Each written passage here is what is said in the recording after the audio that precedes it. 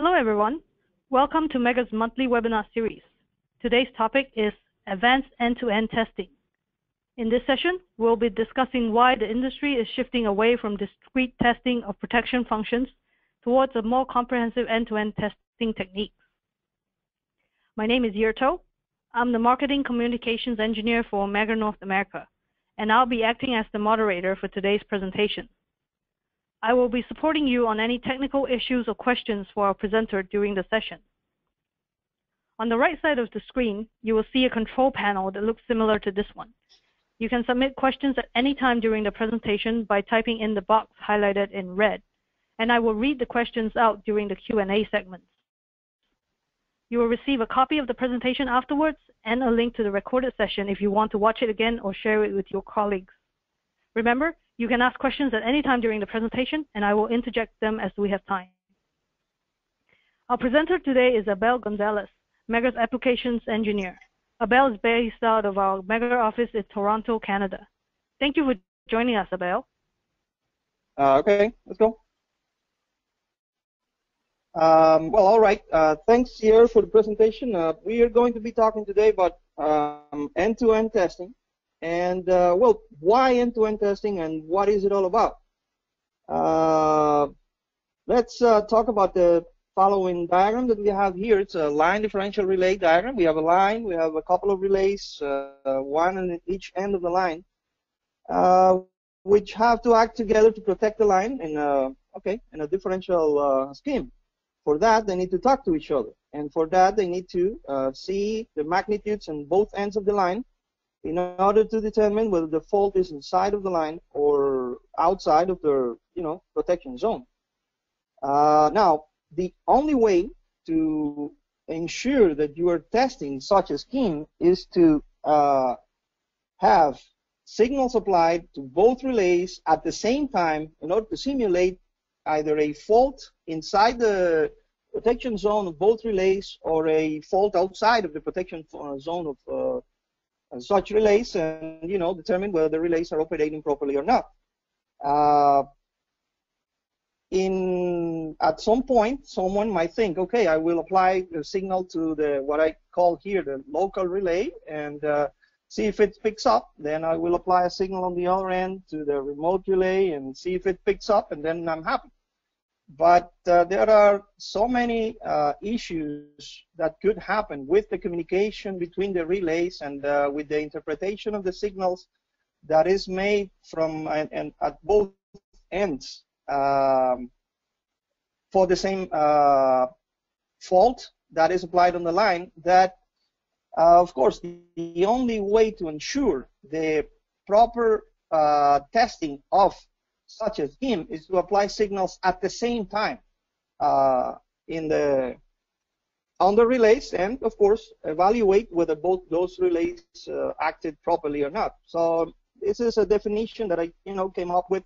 about what is end-to-end testing. You will find as many definitions as people you know approach in the field, but uh, everybody uh, you know agrees in the fact that end-to-end testing is a way to evaluate the entire protection scheme uh, by simulating the effects of faults on uh, both ends of the line, uh, which have to be played simultaneously. And everybody also agrees that in order to do end-to-end -end testing properly, the ability to synchronize uh, the uh, application of injection or injection of the signals on both ends of the lines is of the utmost importance. Uh, now, why do you do end-to-end testing? Well, um, we, we, already talked about it, but it's the only way to perform the simultaneous verification of the operation of all the elements of a protection system. There is no other way to verify the actual operation. Well, barring a fault happening on the on the system, an actual fault happening on the system when the system is in operation. And uh, okay, if that happens and we haven't properly tested the system beforehand, then we are okay. Fingers crossed. Let's see what uh, if the system operates. It's the only way available right now to engineers to verify the operation of the protection system as a whole. Uh, what do you test? Well, from the scheme that we saw before, uh, it is clear that when you're talking about end-to-end -end testing, what you are testing is any protection scheme that includes remote communication uh, between relays. This is an example. You have a line, you have a relay in uh, side A, relay in side B. They're talking using some sort of uh, communications protocol. Uh, relay number, uh, I mean, relay A is telling, is communicating to relay B whether he thinks that he should trip or not. Relay B is relaying that same communication to relay A. If both determine that they have to trip, okay, then they'll they'll uh, they'll trip together. Uh, what type of protections are tested using end-to-end uh, testing? Well, line differentials, any communication-based uh, distance protection, uh, transfer trip schemes like uh, permissive over reach transfer trip, permissive underreach transfer trip, etc. So some sort of phase comparison schemes, some automation systems that uh, work in um, either transmission lines, even in distribution uh, places, where you have remote communications between relays that have to, you know, uh, shift the load or switch uh, from one uh, feeder to, to the other. Those uh, are also um, schemes that are prone to be tested using end-to-end -end testing. Again, um, if we see the line differential relay scheme that we see here, uh, we see that this one only has two relays, one on each end. This is a single uh, and simple, I would say, application of uh, end-to-end -end testing where you only have two ends. Uh, since most applications are like this, and most applications of end-to-end -end testing are like this, we tend to think uh, of end-to-end -end testing in two dimensions. We tend to think only two relays uh, talking each other, and uh, we tend to then uh, think of end-to-end testing as okay, we're just uh, synchronizing two uh, test sets and uh, doing what's uh, appropriate to test such a schemes. But sometimes reality is that the system is not that simple. That's why you, you, you, you cannot define end-to-end testing in terms of just two systems or synchronizing just two systems. Sometimes you need two, three, or more uh, systems operating simultaneously. And when I say systems, I'm talking about uh, test sets or even test systems uh, in order to, you know, uh, verify the proper operation of the protection schemes. Now, when do you do end-to-end -end testing? Well, um, most of the times when you're doing commissioning, also when you're doing maintenance. Okay, I mean, in, in commissioning, it's a, it's a no-brainer. When you're putting something into service, you have to test it all the way. You have to uh, be sure that it's you know working properly, that it's no problem. Otherwise, you don't just you don't just put put it into service. However, when you're doing maintenance, uh, end-to-end testing is becoming more and more uh, popular in order to verify that whatever happened during commissioning is okay and that whatever changes happened in the system haven't affected the ability of the protection scheme to you know properly protect the lines or whatever. When you're doing troubleshooting, let's say you have a trip on a relay in a line or you don't have a trip in a relay in a line, and uh, you want to know whether the relay uh, tripped correctly or whether uh, why didn't the relay um, operate. Uh, in those cases, you also do uh, end-to-end -end testing. Uh, when you're doing regression testing, well, that's something for someone who is not, you know, maybe in the utility, someone who is I don't know, building or manufacturing uh, relays and wants to verify that his relays operate properly in this or that protection scheme, well, then they'll do it. Any other cases, you know, I'm open to suggestions. Uh, now, the uh, diagram that you see here is what you will uh, end up with in 90% of the cases when you're doing end-to-end -end testing. Uh, in a previous presentation by uh, Megger by Stan Thompson uh, a few months ago, he talked about the uh, signals that are used to uh, guarantee the synchronicity of the test sets, you know, during end, end-to-end testing. Now, um, here you see that you have, you know, in both ends of the line, and each end of the line you have the same things. You need to have a relay test set you need to have some uh, form of uh, time synchronization, and you need to have, of course, the relay that is under test or the, the device that is under test, which could be a line differential relay, a distance relay, any kind of uh, relay that's going to, you know, be participating on the scheme. And of course, in addition to this, you need your test cases, you need the people. Uh, keep in mind that when you're doing end-to-end testing, it's not the uh, typical testing that you do in uh, in a relay, where you know it's the tester with the relay himself, everybody else doing something else in the substation. Nobody is uh, minding whatever he's doing. No, in this case, you need to have active communication with the other side of the line or whatever you're you're testing, and you also need to have whoever developed the test cases that you're using, you need to have that guy on call in case something you know comes up with the. But again, uh, if you are either new to end-to-end testing, or even if you are a seasoned engineer, if you've done it many times, this is what you will uh, see in most of the cases when you're doing end-to-end testing. In some cases, the GPS receiver is integrated in the test set. In other cases, the GPS receiver is external to the test set. In other cases, you don't have to bring the GPS receiver with you because uh, the substation itself uh, runs, you know, a synchronization signal that's uh, good enough so you can use it on both ends.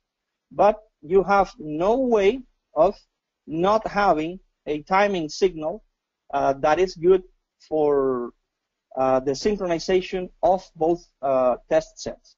If you can have a timing signal that is good for both test sets, and at the same time, it's the same timing timing signal that is being used to synchronize to guarantee the timing the time signal of the relay, that's even better, because then you can actually, uh, you know, see that what you're the tests that you're doing and, and that you have uh, events in both relays that happen when you're doing your testing and you have a way of matching uh, the operation of both relays using the timestamps of those uh, event files. Uh, now, this is just a list of the equipment required uh, to do end-to-end testing. Of course, this is according to according to Megger, right? Uh, two relay test sets. We, of course, are going to say Smart 36, Smart 36, Smart 410, whichever uh, test set. However, as you know, this could be any uh, relay test set, two synchronous time sources. We, you know, we provide the MGTR. We'll talk about, about it later. Uh, in this case, well, we have the line differential relay. It could be any uh, relay that participates in the in the scheme. Optical fiber. Well, this is the uh, I would say the best case scenario. Uh, it doesn't have to be optical fiber. It can be any kind of communication uh, medium that you have in that guarantees the proper communication between the relays on both uh, sides of the of the line through computers. Now this is uh, unavoidable today. Everybody that is into testing needs to use a computer uh, you, you will end up with you know the test cases. You need to record everything that's happening. You need to talk to the relays to either read the configuration or uh, change it and whatever. Um, my take in all this is this last line here, carefully prepare the test cases beforehand. Don't improvise and uh, understand fully the system that you're going to test before you go into the substation to do your testing.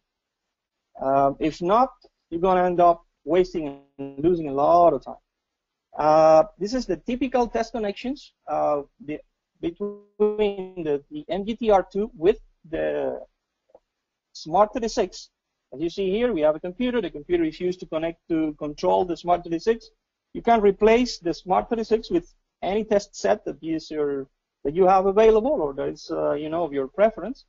Uh, but the concept is the same. You need a, you usually need a computer to talk to the test set, uh, a computer to talk to the relay, and a computer to configure your timing your timing reference.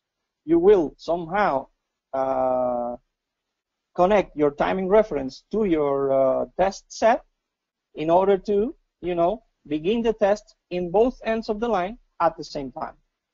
Uh, in general, when you're doing end-to-end testing, you need to create test cases for each of the ends. Uh, why do I say create test cases for each of the ends? Well, that's uh, uh, simple. You cannot go with the same test case for one end and the same test case for the other because even for the same fault, the same fault is seen on both ends differently.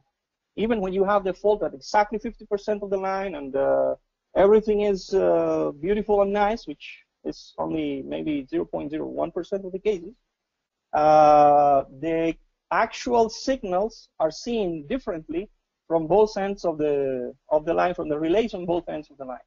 So you have to create test cases for each of the ends. Uh, include enough pre-fault cycles. This is something that uh, sometimes affects, and people don't understand why, especially with uh, microprocessor relays. Um, I guess I'll talk about it a little bit later when uh, when you see the diagram, the, the I'm sorry, the oscillographies that I have to show, and also simulate faults in different places uh, along the line. Um, when I say include enough pre-fault cycles, I'm saying that don't do something like this. Don't begin your test and maybe one cycle later uh, go with the fault. Why? Well, the reason for this is that microprocessors relays need some time to load the filters that are used, you know, to uh, interpret the analog signal and convert that analog signal into a discrete form and then to convert them into the quantities that the relays use to, to make their, their decisions. That's why I recommend that whenever you can, include enough pre-fault cycles in your uh, in your testing. Five cycles is usually more than enough to uh, have all the uh, filters in the relays filled, you know, enough information for the relay to know that it is on a stable state, and then uh, go to the faulty state. Now, simulate faults in different places Before along the line. Uh, Abel, I have a quick yeah? question. Sure. Um, so why do we synchronize our test sets with a complicated satellite system instead of just using the electrical system, which is already synchronized? Uh, how would you go about synchronizing using the electrical system? Okay, I'm sorry. I'm sorry. I don't. I don't. I don't have uh, you know feedback here. Okay, what you when I'm when we are saying synchronize, we are saying that the test should begin at the same time on both ends of the line. We have a test set here and another test set here. Okay? Now, this test set needs to begin the test at the same time at the test set on the other end of the line. The distance between both can be 500 meters, 2 kilometers, or 200 kilometers. Okay? Now, uh, the only way to guarantee that the test begins at the same time on both ends of the line is to have a common time source, okay? And with that common time source, I can tell both uh, test sets to begin testing at the same time or to begin applying or injecting the signals that uh, I designed as the signals that uh, the relays on both ends of the lines should see for a particular fault, okay?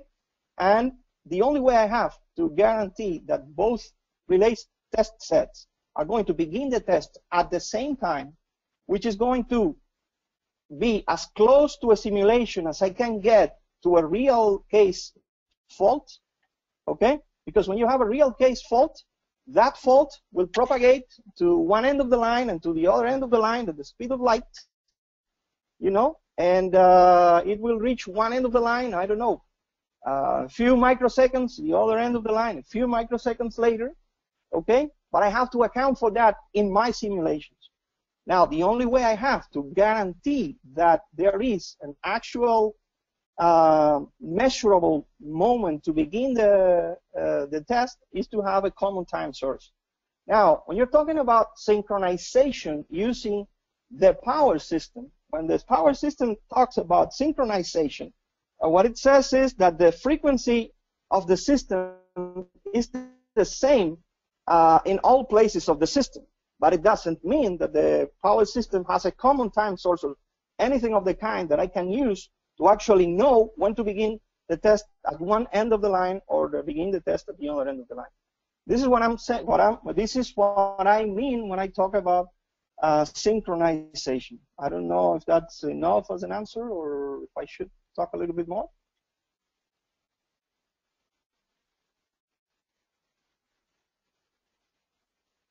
Okay, yeah. Yeah, I think we I think we can move on. That's probably good. Okay, okay. Thank you. Fine. No, I just wanted to know if uh, was satisfied or not. Okay. Um, we can, if not, we can, you know, always go and uh, have a, a, longer discussion, a longer, you know, conversation about this uh, a little bit later. Now, uh, where was I? Okay. Now, create uh, simulate faults in different places along the lines. Okay, for the same reason that I said that uh, even when you have a fault at 50% of the line, uh, you need to uh, um, actually create signals for relay A and relay B, and you know because relay B is going to see a fault here differently than the relay A. Well, you need to make sure that you are protecting the line properly, and that relay B and relay A are acting, you know, together. Um, in a, in a manner that allows for the protection of the line for different types of faults. I say here 10%, but you can simulate the fault as close as you want to relay A, a fault as close as you want to relay B. Um, usually, I recommend, you know, 10%, 30%, 50% uh, of the line, 60%, 90%, which is, you know, in this case would be the opposite, is uh, 10%. And of course, faults outside of the protection zone to see, you know, what happens when um, relay B has to maybe act because it is falls into its, I don't know, zone three or four or whatever. But relay A doesn't have to, or maybe it has to because it has a. But the point is, you you have to be creative with the types of tests that you prepare, and don't just fall into okay, let's do a fault at the 50% of the line. That's fine and uh, let's uh, let's move on. Um, now, the main approaches to end-to-end testing uh, are using what we call state playback, and the other one is using DFR playback. Okay. Um, state playback. I'm uh, going to talk a little bit about uh, state playback. What you do is you determine what are the voltages and the currents uh, in both ends of the line for three different states. In one state, you will call it, um, I don't know, the pre-fault state. And you will mean by pre-fault a state in which you have uh, steady state conditions, you don't have a fault, you have something you know going on in the system that uh, could go on forever and nobody has to care about that. Okay? Now, the faulty state would be the moment when a fault hits the system, and then the post-fault is what happens after uh, such fault, you know, was cleared by the um, by the protection system. Okay. Now, if we uh, go into, you know, going with the philosophy that we talked about before about, you know, using external and internal faults and, and whatnot, uh, we can say that here, you know, we have a pre-fault of, uh, you know, 3 amps, a fault 12 amps, and a post-fault of 3 amps. Since it is an external fault, external fault is something happening here outside of the protection uh, zones of uh, these two relays, which are acting in a 87L or uh, line differential relay scheme. Since that is the case, well, we would be expecting these two relays not to operate and somebody else uh, to clean the fault for them, okay? Uh, and in this case, what you do is you put 3 amps in the pre-fault state then 12 amps during the fault, you have that fault last for a few milliseconds, as many milliseconds as you believe uh, the fault should last uh, until the whatever uh, protection system takes care of that uh, passes the clearance time. And then the post fault, which is the return to you know normal conditions for for the system.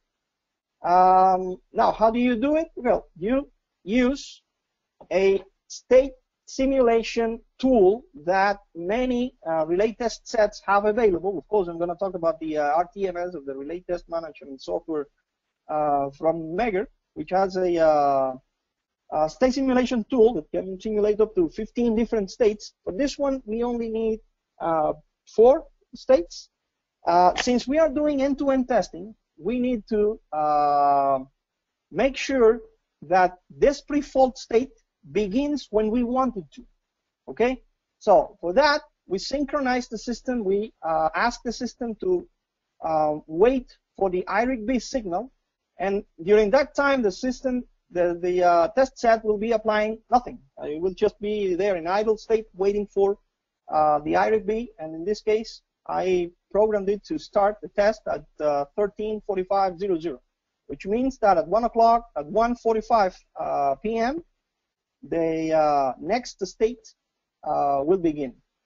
This state number two, uh, remember that we had uh, three um, amps on the pre-fault, okay? State number two, we will have three amps. This will be a pre-fault. Now, I program here a timeout of 500 milliseconds.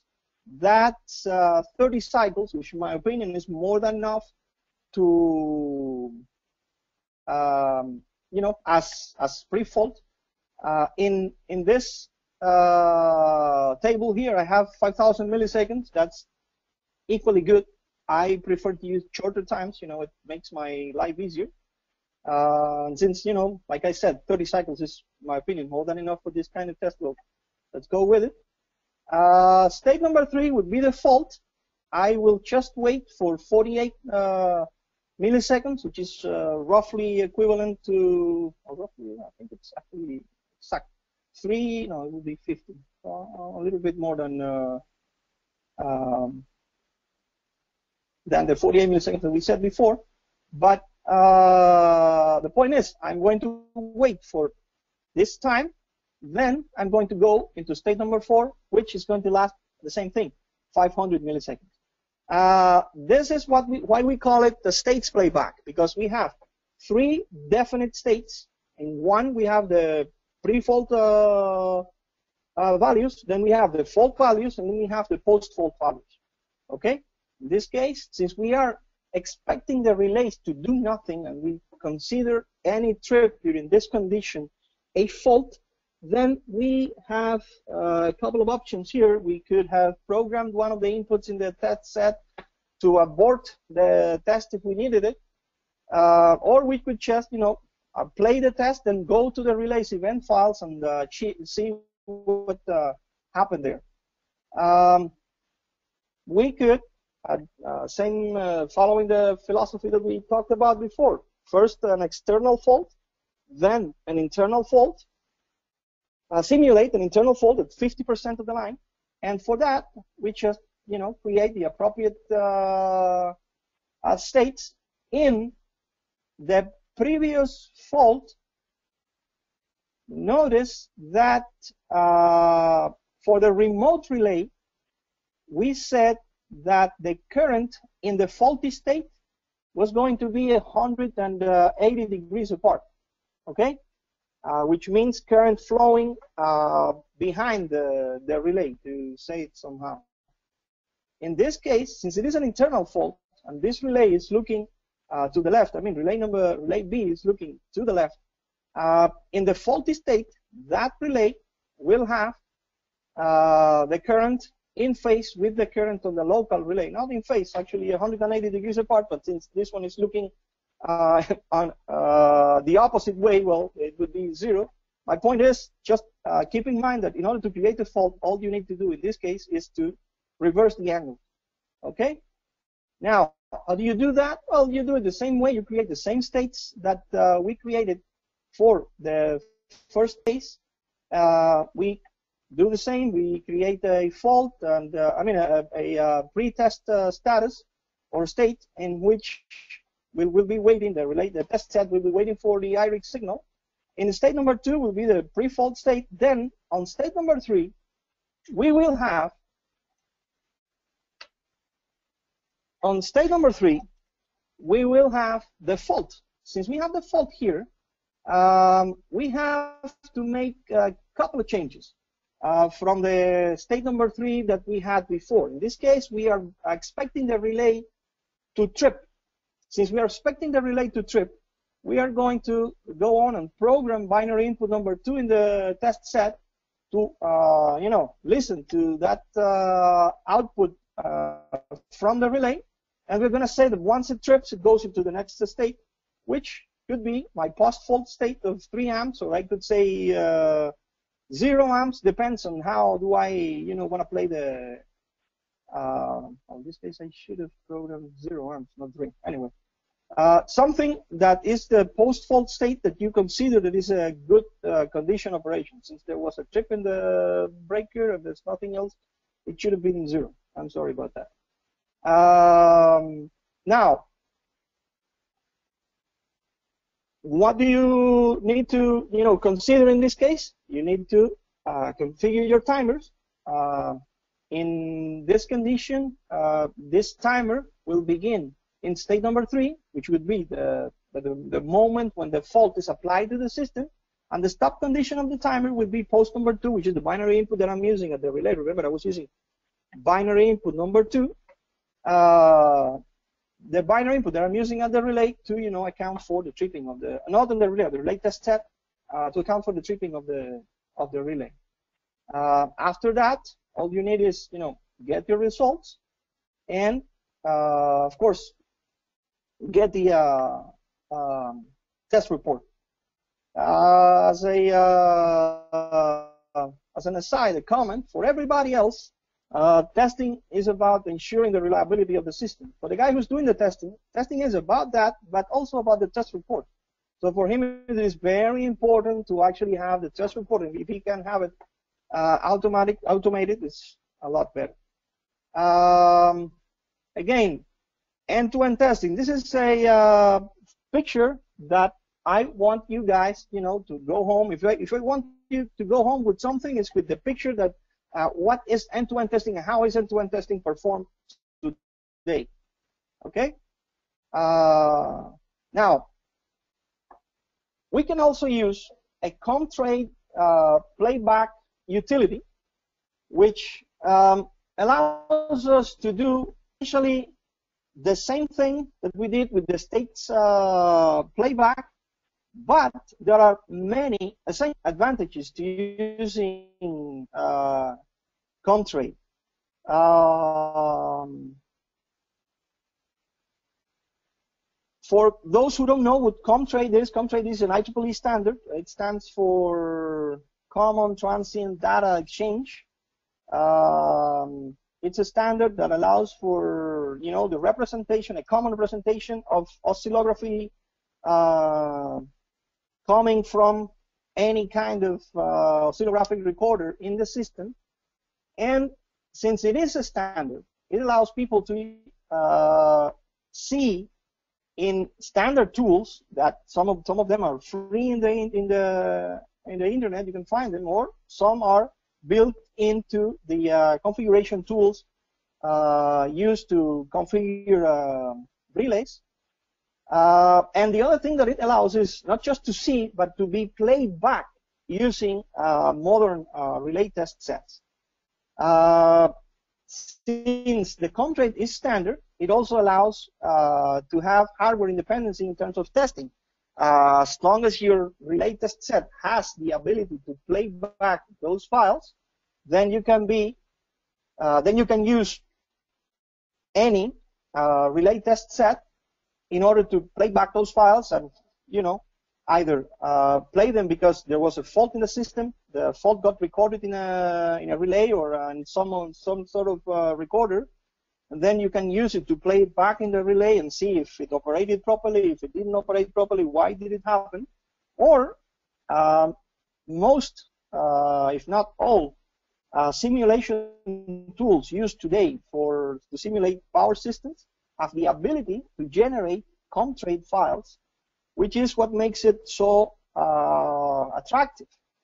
Because on the other hand, in the, the Comtrade files, you can, um, since it stores the actual oscillography of whatever happens or is going to happen or is proposed to happen in the system, it can include the actual behavior of the power system, not just the fact that you have a state, a steady state and another steady state, which we had with the states playback, and then another steady state, the pre-fault, fault, and uh, then post-fault. In this case, we can actually include things like uh, exponential decay in uh, when a fault uh, comes up, uh, harmonic uh, distortion. You can even simulate CT saturation and and stuff like that. That's why I, that's why I prefer to use whenever I have it, whenever I have the possibility to use uh, Comtrade.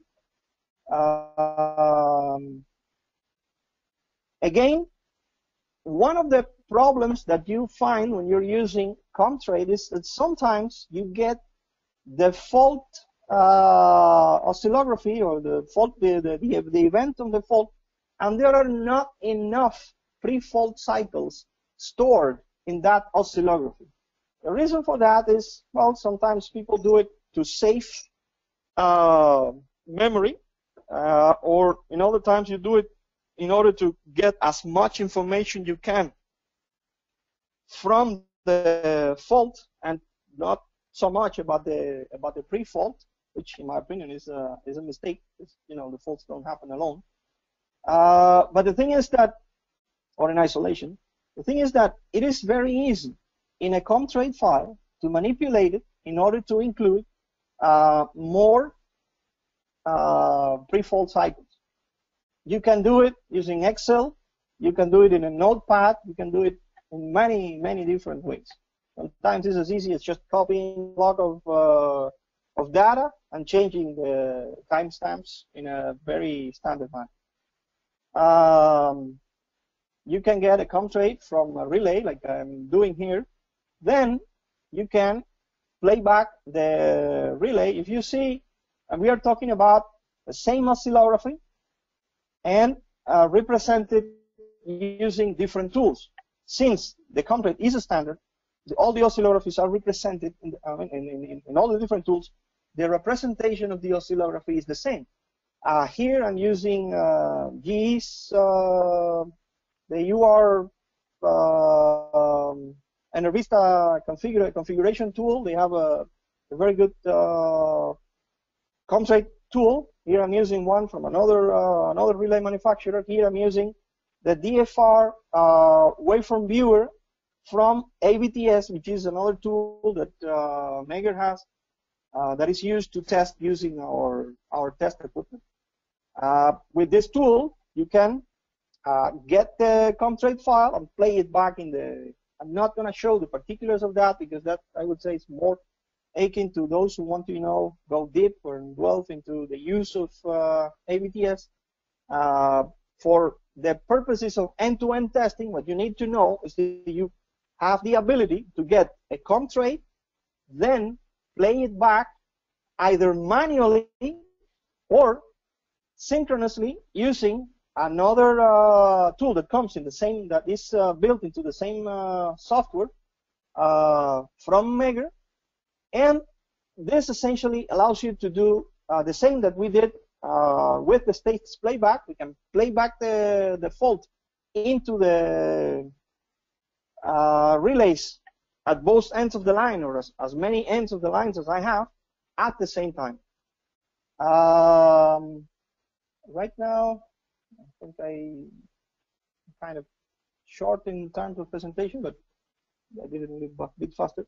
Well, let me talk about what Megger has in terms of equipment. Uh, to do this test, Megger has a very, very nice uh, uh, line of uh, relay test sets uh, now, why is it um, you know uh, good for the end-to-end testing that we're talking about now?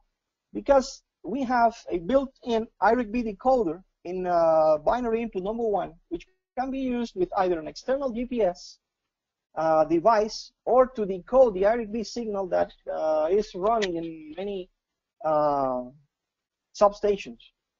So it's, uh, I would say, a very good tool in terms of the equipment itself. I'm not going to go and uh, you know praise the uh, beauties of the equipment and whatnot. And we also have, as a complement for that, we have a GPS timing reference, which is what uh, most people who use the SMRT 36 to do end-to-end testing and end up using because they can get from this uh, timing reference, they can get the IRIG-B signal uh, directly into the uh, SMRT and they can do the, the test that way. Uh, in terms of end-to-end testing, let me go back to, because I want to mention something. In terms of end-to-end testing, you don't always need, I'm, I'm focusing myself in the, in the presentation on all the time I'm talking about uh, using the GPS and then using the IRIG-B signal. That's not the only thing that you can do using a GPS receiver. Uh, GPS receivers also have a pulse output uh, possibility, which uh, will give you a pulse whenever a particular time is reached, which means that you can begin your test when that particular pulse is given by the GPS uh, uh, receiver. Okay, so that's another way of beginning the, the test because some test sets do not have the ability to decode the IRIG-B uh, signal uh, natively, so they need something else to give them that pulse in order to begin the, the test. You can, with our equipment, either use the IRIG-B directly into the equipment, or you can use that pulse, which will account uh, for, for the same thing. Uh, instead of using the IRIG, then here, what you will do is, okay, you will use binary input number one to act on a voltage pulse. That uh, would be the, the only difference. Um, here, I'm finished. Okay, um, sounds good. Um, well, this has been a really short webinar, so at this time the webinar is officially concluded, but based on feedback we got from our webinar series in the last year, we're going to mm -hmm. have an extended Q&A session for about another 30 minutes to make sure we got all the questions answered. Okay. If you have any questions right now, please submit them into the Q&A box. For those who, of you that are leaving, when you close the webinar window, a survey box should pop up on screen. We will greatly appreciate it if you could take a couple of minutes to provide your feedback so that we can continue to improve future webinars. A copy of the presentation will be emailed to you in the next few days, and a recording of the session will be available on our website at megger.com slash webinars in the next two weeks. This webinar landing page also contains the schedule for all upcoming webinars and the recordings of all previous webinars. So again, if you're looking for any information about Megger webinars, the URL is slash webinars.